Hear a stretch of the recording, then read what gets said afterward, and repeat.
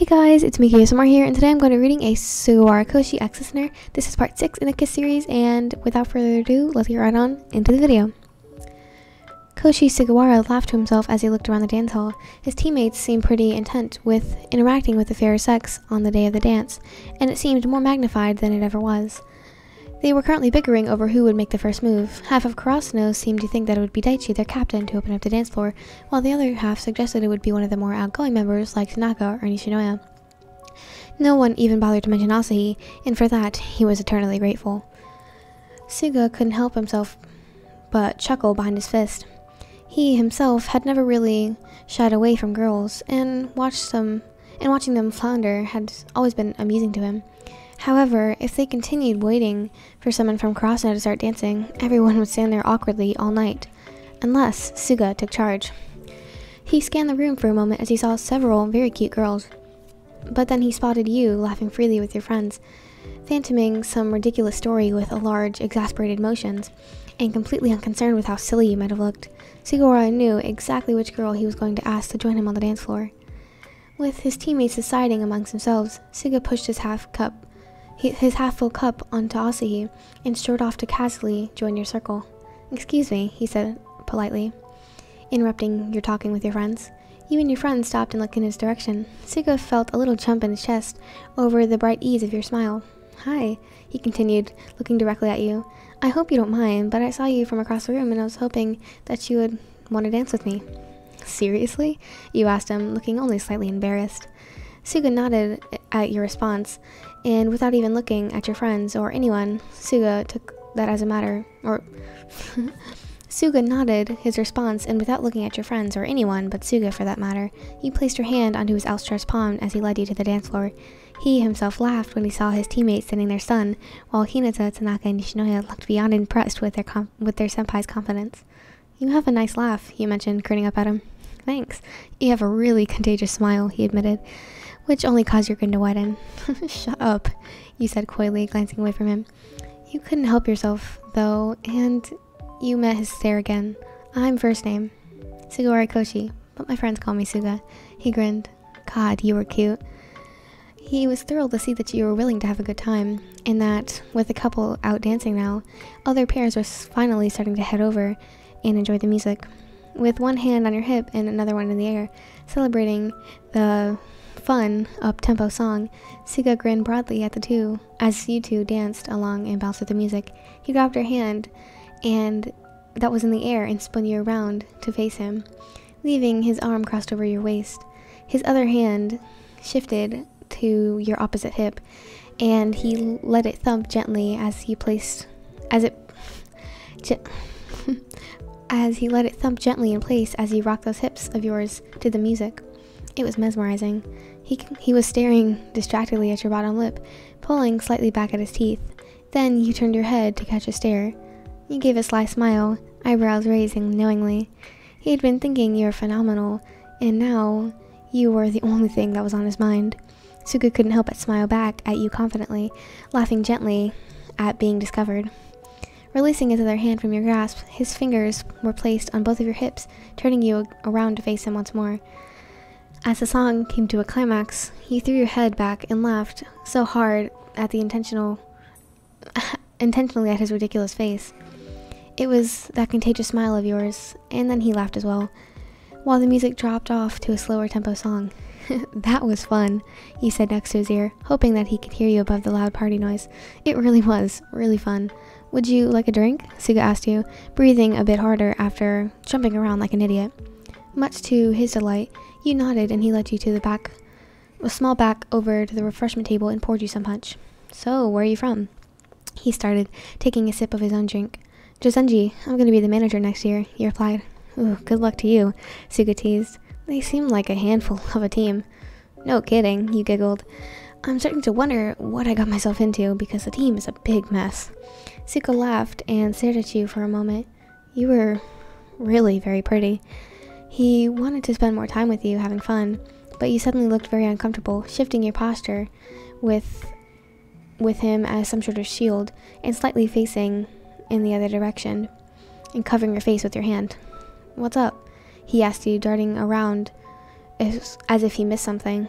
He walked over behind the refreshment table, pulling Suga behind you and positioning him again so that he blocked most of the party.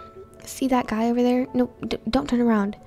Well, how am I supposed to see him if I don't turn around? Suga laughed, as your corresponding adorably annoyed expression only served to make him fall a little harder. Okay, turn your head, but don't make it obvious. He's wearing that horrible yellow suit and white tie. He described, carefully peeping over his shoulder for a brief second. Suga turned and spotted the guy. He looked absolutely average. Nothing really out of place except for the fact that he was walking around really awkwardly and scanning the ballroom. Okay, mm, what about him? He's on my team. His name is Kazuma. He keeps asking me out even though I've said no repeatedly. And last week he tried to kiss me. I yelled at him, but he keeps bothering me. Suga gave the guy another glance, but this time he found himself crinkling his nose, as if the boy had suddenly become something so offensive. Scooting even further away, he complained. Our captain, Terashima, told me that Kazuma wasn't coming. I should have known better. That guy loves to watch people squirm. Yeah, I'm not a fan. He's kind of a public enemy number one of Karasuno after harassing harassing our manager, Suga complained. You'd begun chewing your thumbnail nervously, so he'd asked you, You want me to say something to that Kazuma guy? N no, uh, I don't want you to get involved. We just met. You said, the guilty embarrassment evident on your features. Yeah, I can see that you got a lot of. Fuck. Yeah, I can see myself getting into a lot of trouble over you. Suga thought to himself, unable to suppress his grin. I don't, I don't really mind, really, he admitted, tilting his head to the side as he considered reaching out to hold your hand. Suddenly, your eyes widened. Crap, he's coming this way. Crap. Grabbing you by the wrist, Suga whispered, Come here, and yanked the two of you below the backside of the refreshment table underneath the draped uh, tablecloth. What are you doing? You hissed, even though you were grinning, eyes sparkling even though there was hardly any light beneath the table. What does it look like? You told you told me not to talk to him, so I'm hiding you. The two of you quietly laughed before Suga requested, Now, hand me your phone. My phone? Why? Because I left mine out, on there the, out there on the table, he chuckled, and I have a plan. You nodded, but your eyes widened slightly as the tip of, tips of your ears felt hot. Fine, but don't peek. Obviously, at a loss, Suga wondered, Peek? Why would I? You interrupted. I'm in a dress, Sugawara. No pockets. And there's really only one place to keep my phone. Now that it was now it was Suga's eyes widening before cutting to the side, his hand flew direct, diagonally over his face, des- desperately but futilely trying to hide his blush. If nothing else, at least you had gotten him to make such a cute expression. Twisting your torso around you or and slightly pulling out, twisting your torso around slightly and pulling out, pulling it out of your bra. You had handed him his cell phone or your cell phone, and he was very flustered. Wow, he he quietly exclaimed, a hint of mischief lighting his features. It's really warm. Sorry.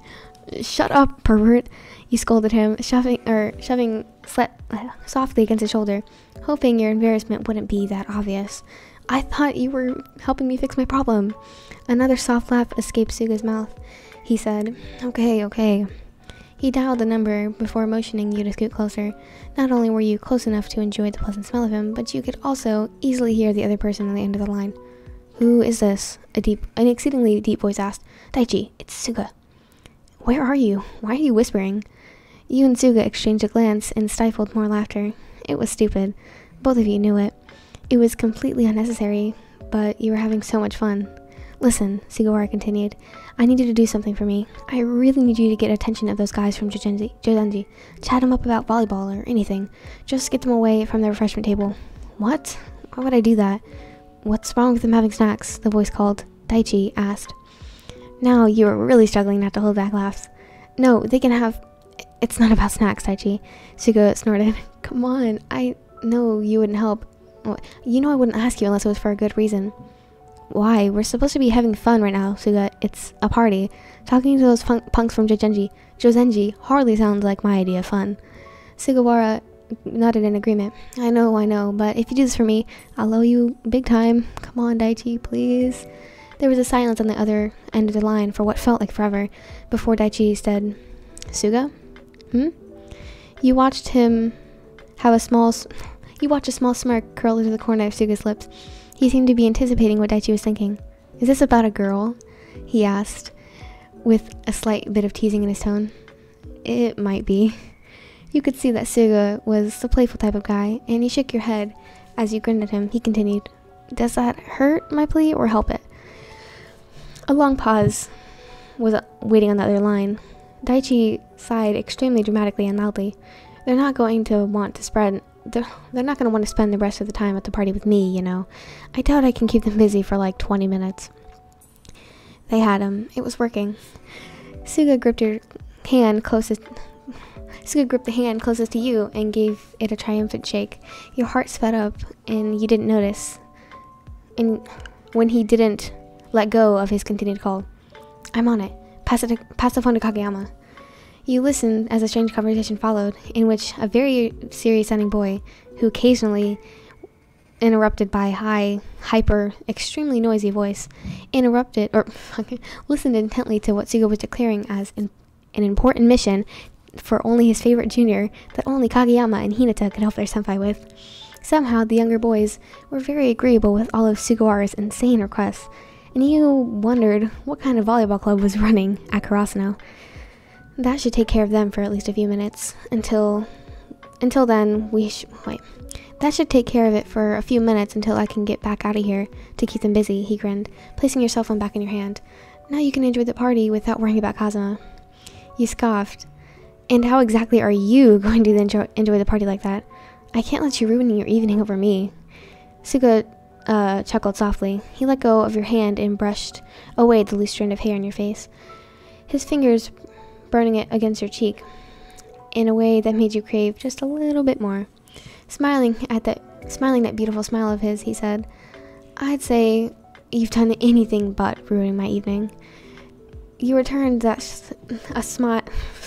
You returned a shy smile of your own, focusing on the beauty mark on his face. A little embarrassed and overwhelming heat met your face as you looked him in the eyes. Sugawara cleared his throat. Come here. Mm, let's take a look. He carefully lifted the edge of the tablecloth enough to see so you two could peek out. The two of you were spotted by your teammates who were wildly energetic. The two of you were quickly spotted the two of you quickly spotted your teammates who were widely engaging in a very energetic conversation, with Terashima and Karasuno's number 10 moving animatedly all over the place. They looked plenty distracted and unconcerned with the refreshments corner. It had worked. Suga dropped the tablecloth, and the two of you began laughing at the whole situation. You had basically spent your high school dance under a table like two little kids playing secret agents. It was ridiculous, but it had been really exciting. It was a blast. You looked up to find your faces were a little too close. Heat radiating off of the pair, you crouched underneath the table and put your hands on your knees. God, he really was beautiful, with his silvery hair and the mole underneath his right eye, and that mischievous grin. Not to mention, he wore a black suit with a maroon dress shirt as well. You weren't entirely sure how you had ended up in this position with a guy like Suga. The laughter died down, awkwardly, but neither of you two moved away. Suddenly, the two were forced to study just how close their faces were to one another. Suga tilted his head slightly, slowly leaning in even closer, until you were holding your breath for anticipation. Your heart was beating like mad, and he asked, Could I? And you responded with closing the rest of the tiny gap for him. His kiss was soft but confident, and your skin felt like it was on fire from his touch as it was before, and his as his hand slid tenderly across her cheek and to the back of your head to deepen the kiss. Gently, he moved his lips at the same time as yours, pulling away with a sweet kiss to your cheek. Um, you managed, yeah. Um, there was only another split second of staring at each other before you were pressing your lips back to each other eagerly once more, and much more passionately than you did moments before. His smell, taste, they were all threatening to overwhelm you, but you were too impatient to feel more of his lips on yours. It wasn't that. It wasn't something that you could get away with stopping. Not yet. Your insides flipped slightly as he pulled you closer, your hands catching fistfuls of fabric on his chest. I can't believe I met a guy like you tonight, you breathlessly exclaimed. Equally breathless, Suga complied, or Suga complained. That's my line. There was a little too much perfection, or he was a little too perfect. You grabbed his shirt tighter and pulled him back to your lips before traveling down to his jaw. He gasped quietly as you sucked softly at the pulse line before peppering his throat with eager kisses. He grabbed your face with his hands and kissed you long, greedily, tongue delving deeper and deeper into your mouth before he backed up abruptly, wincing as you had heaved, looking slightly pained. His hand reached across his chest, covering his racing heart, and fingers feeling warmth at the collar line where your lips had just been. His wince melted into more of a something of a wink, and his mouth curved into that imp- impish smirk. With the two of you still trying to catch your breath, he said, We have to stop here before somebody could get us in trouble. You shivered at his claim, knowing exactly how he felt. You wanted him just as badly as he wanted you. Alright, I'm going out first, and I'll definitely keep everyone distracted from the table until you're out of the party. After that, please enjoy yourself, so I know you won't be occupying Kazuma and Hiroshima in vain. He giggled. You laughed back, though you still felt a little guilty that he had decided to forfeit the rest of his evening. His hazel eyes widened as he pointed to your cheek, saying, Oops, your lipstick got a bit smeared, which caused you to laugh even harder considering the amount of lipstick he had smeared across himself at the moment. Without thinking, Sugawara sucked his thumb, wetting it before rubbing it across the smear on your cheek to clean you off. Oh, oh, uh, I. He began to stammer, probably noticing how round your eyes had become. Did you. Another laugh was already bubbling up inside you. Did you just mom me? And for the first time all evening, Sugawara Koushi looked completely and utterly embarrassed. It was probably the most adorable thing you'd ever seen, and it only made you want to get him, or get to know him even more. While you were still laughing, he muttered, I'm gonna go now. Just one thing first. Let me borrow your phone one more time. You had hidden it to him with a big grin on your face, debating whether or not to tell him that he was covered in kiss marks. You decided it would be a more interesting story if he would have come back to all of the. Wait, if he would. to. You decided it would be more of an interesting story he would have if he came up to all the curious guys around with marks on his face. Dialing, Suga waited for the voicemail box. He picked up. Hey, self, he said. You wouldn't know. And, and you couldn't help but let out a laugh again. This is a message from YN's phone. If you don't save the number and call you back first thing, you're a complete and total idiot. Here, tell him for his name. He pushed the phone towards your direction, with your face in the middle of, la- in the middle of laughter. you're ridiculous. You giggled into the receiver. But you like it. He teased before kissing you swiftly on the cheek, pressing end to the dial, and giving you your phone back. He certainly wasn't wrong. You loved it, actually. I'll distract Kazuma for the rest of the party. You try to have fun, he said as he slipped out from under underneath the table. You had sat for a few moments with your hands pressed against your blazing cheeks, alone with your thoughts. You didn't know if you'd ever been to a better party, or if. or had a better night, for that matter. And for Suga's sake, you were determined to enjoy yourself now. After making it to the group of your fellow managers, you encouraged them to dance with you and have a great time. Dancing and laughing with your friends was amazing, and it was even more amazing to steal glances over at Suga and see him approached by the person, person after person, over his disheveled appearance. Somehow, he had managed to keep Kazuma occupied until the other managers from Jozenji were he- heading out. On the train ride home, they talked about the awesome time that they had, and you had to agree, saying that you wouldn't mind doing it all over again. Finally, at home, you changed into your pajamas and replayed your kiss with Suga again and again. Touching your fingers to your lips, you had hoped your phone would ring before you had the chance to fall asleep that night. It did. Stop it. That was so in. Whoa. Um. Why would that was so sweet and for what? um. Can Suga do that to me? Uh, excuse me? Like, uh, bro, this would be perfect for my best friend because she literally loves Suga so much. Oh my god. Anyways, that was so so cute. What? G- give me. I need a Suga in my life. Pause. Oop, my fucking mic got too loud. Oop. Anyways, thank you guys so so much for listening. I hope you guys have a fantastic day. Um, if you did like the video, make sure you subscribe and tap the notification bell so you get notified every single time I post a video. Also, like the video because it does something for the YouTube algorithm. And also comment down below some requests that you want me to do, and I will do my best to do them. It can take a little bit of time, so please don't mind that. And that's all I have to say. Thank you guys so so much for watching. I'll see you guys in the next video. Hope, hope you have a fantastic day, and I'll see you guys later. Goodbye.